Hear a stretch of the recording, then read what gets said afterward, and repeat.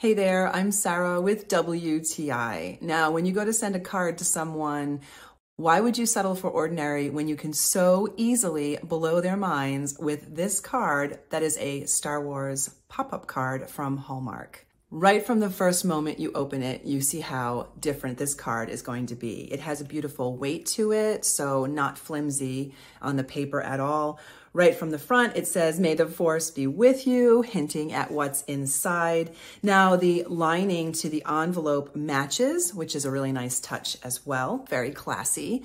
And when you open it, you get to see that there is a model of the Millennium Falcon ready to take off. It's actually literally in the air taking off.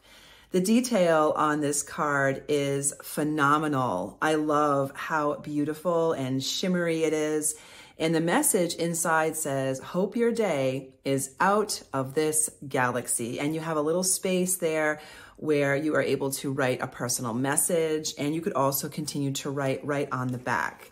Now, this is a great card for so many reasons. It is um, without specifics. So it's really up to you what your message will be. I love cards like that because you can really personalize them. Of course, this would be perfect for any Star Wars fan. I would love receiving this card. I can't wait to, to send it to my loved one. I just really think they're going to get a kick out of it.